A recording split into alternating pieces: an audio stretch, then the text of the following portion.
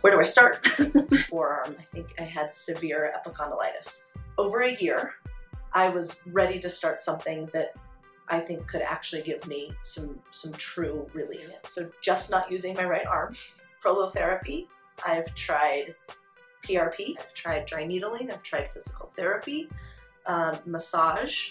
Basically, you you name it. Everything that people say that works um, kind of just dulled the pain. So I always walk away feeling better than when I came, and and that's really important to me as an athlete that I know that I can go back out and, and do my sports and that nothing is sidelining me from anything.